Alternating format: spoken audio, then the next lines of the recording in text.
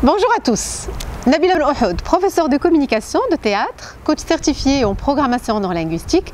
Je vous donne rendez-vous sur le daily.ma pour des capsules coaching et développement personnel. Je compte sur vous, à très bientôt